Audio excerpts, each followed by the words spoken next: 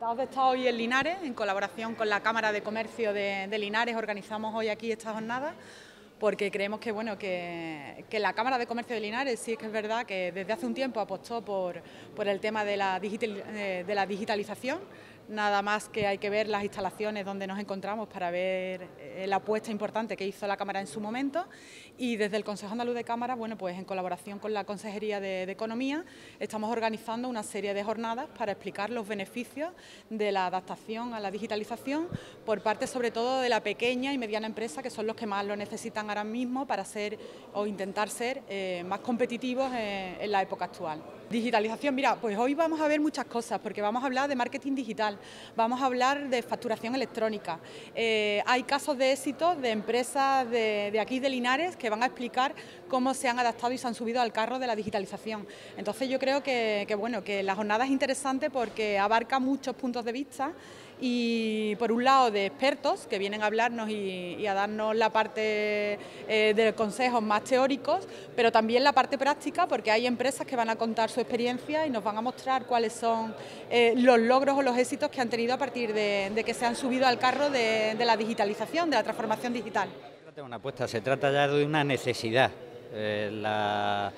la transformación digital es una nueva revolución a la que todas las empresas y fundamentalmente las pymes, que son las que necesitan más ayuda, pues deben sumarse, si no pues, nos quedaríamos atrasados y no entraríamos en un mercado que es sumamente competitivo y sumamente eh, transformador. Es una necesidad y desde la Junta de Andalucía pues es necesario apostar por eso y prestar esa ayuda a las pequeñas empresas que son las que en definitiva van a generar empleo y van a necesitar esa ayuda por parte de la Administración Pública han dicho muy bien tanto Estrella como nuestro delegado, como Francisco, porque esto no es una opción, es una obligación, una necesidad de supervivencia de las propias empresas.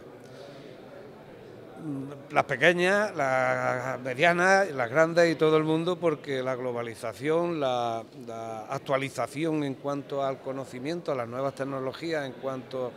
a, a todo lo que son las la, inteligencia artificial, la robotización, todas esas cuestiones, pues que nos están afectando a toda nuestra vida, en general, a todo el mundo, colectiva e individualmente. Y la empresa que quiera sobrevivir en este mundo de competitividad y ser competitiva, tiene que por narices, por obligación, y sobre todo si quiere internacionalizar sus mercados y demás y, ampliarlos, pues tiene que subirse a ese carro de la digitalización, ¿no? Y eso tiene un proceso. Y lo bueno de esto es que hay organismos e instituciones como la Cámara de Comercio, en este caso colaborando la consejería, por eso está aquí nuestro delegado, para que eh, facilitar eso al, tejido, a la red empresarial y en este caso a Linares nos hace mucha falta. ¿Por qué? Pues porque Linares eh, hemos tenido un modelo industrial ya sumamente obsoleto, hay empresas que ya han optado por esa digitalización y por esa modernización de los instrumentos y de todo lo que son los mecanismos para internacionalizar y ampliar sus mercados. Y ahora mismo hay aquí empresas que están trabajando en Indonesia que hace exactamente cuatro o cinco años trabajaban solamente en el ámbito de la geografía nacional, en España y que ahora mismo pues está trabajando en Indonesia, en Sudamérica, en Centroamérica, en Canadá, en... quiero decir que esa es la salida y no hay otra, no hay otra.